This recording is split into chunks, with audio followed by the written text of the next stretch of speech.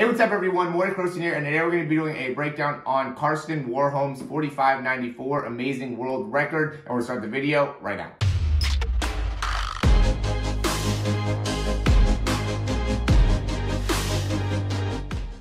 All right, so we have the Olympic Championship here on the left, or the gold medal event here on the left, and then this is actually from 2016 here on the right. And in 2016, the winner actually got a 47.73 in comparison to now, where the winner got a 45.94. Karsten Warholm here uh, is, is the one that ended up winning. And, you know, there's really going to be a great battle here going into it. It was a big question of, you know, Rai Benjamin here from the United States and Karsten Warholm, you know, who are going to be the ones that end up taking it. I just want to kind of break down uh, what were some of the differences. So it's almost a two second improvement, by the way, from the 2016 uh, gold medal winner to what, you know, the gold medal winner took this year in 2021. So that's a huge improvement. Going under 46 seconds in the hurdles is crazy. You know, like even getting under 46 seconds in the 400 meter, just like running 46 seconds is a great accomplishment add in hurdles makes it even crazier of accomplishment. Some people are saying that it's even more impressive than Usain Bolt running a 1919 200 and 958 100. So I think that's debatable. I'm I'm a big 100 meter uh, you know runner, so uh, I still think that that ends up being you know a big thing, but.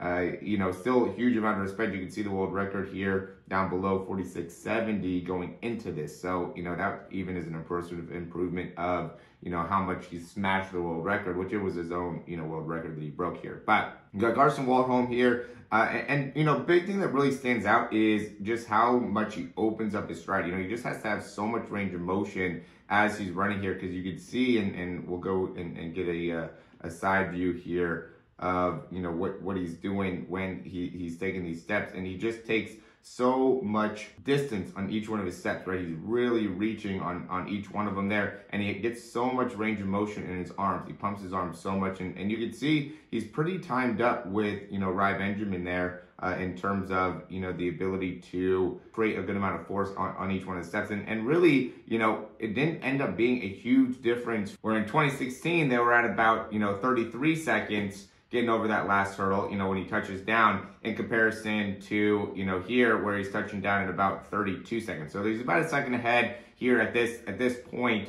Um, Karsten Warholm is, but you know, really that that last ending, you know, the the straightaway here because Rai Benjamin's so close, and, and you can see again, you know, look at how long his strides are on each one of those steps. We'll go ahead and break that down. So boom, you know, touching down there at 79 or 931 and you know, you know, still you can see how far he is up onto his toes, and he's back off by 0.44. So he's got about 0.13 in terms of his foot contact time. So he's taking a little bit longer foot contact time, but then he cycles back down and touches at probably about, let's say 8, 9. So that's going to be about a 0.45 uh, time, time spent off the ground. So he's really trying to maximize how much distance he's taking up per step. You know, he's not really working a ton on being able to cycle the legs fast. He's really just reaching out. Look at how far of, of, of a reach he's getting in these steps. And, and that makes it so now as he approaches the hurdle, you know, he, he ends up, you know, being able to shorten that step a little bit more, really concentrate on being able to control that step going into it, right? So he's long, long, long, and then when he goes into the step, is able to kind of shorten it up,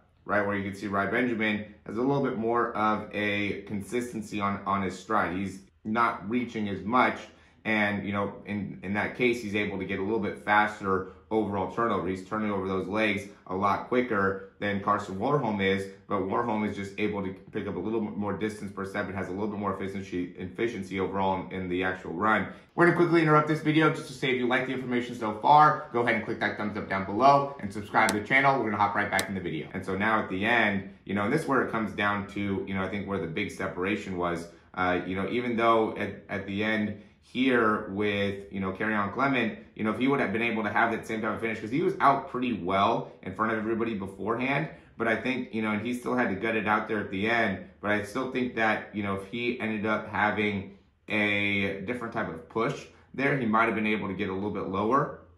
But yeah, 47.75 ended up being the final mark here, where you can see these guys, you know, Karsten Warholm went all out for that first 300, but then still had enough to really be able to, to reach a ton and be able to uh, get to the line there faster. You know, that that's what really stands out to me is Karsten Warholm just has so much more distance per step that he's really reaching to try to get and really pumping those arms fast to be able to increase that turnover. And I think that makes it so overall efficiency wise, he's really able to get a lot out of each one of his steps there. So uh, yeah, that ends up being a really important part of being able to, you know, have the stamina needed to be able to really get you into that elite level of, you know, 400 meter times is being able to really maximize that turnover the best that you can uh, to, to make sure that you're able to, you know, at the end still have the efficiency to finish with a, you know, good amount of power. All right, and that is the end of the breakdown. As always, if you like the information, go ahead and click that thumbs up down below. Subscribe to the channel if you haven't already. And if you have any questions, comments, or recommendations, you can go ahead and leave those down below. And if you guys like this breakdown in particular with the hurdles, I know I don't typically do this, but because it was a world record, I thought why not try it out. And so if you like the information, go ahead and leave me a comment down below just to let me know. And I can do more hurdle breakdowns just like this, get a little bit more technical into what are the key differences between the top hurdlers in comparison to more, you know, of a novice type of a hurdler. So, you know, let me know. I'm always open to being able to provide more value for you guys. And with that being said, if you guys want to get a breakdown of yourself doing through the hurdles or through sprints or through any type of high jump, whatever the case may be, long jump, would be happy to do that for you. We have a link down below for you to be able to reach out to us. We can get you a customized breakdown in the description down below. So go ahead and check that out. And as always, thanks for watching and we'll talk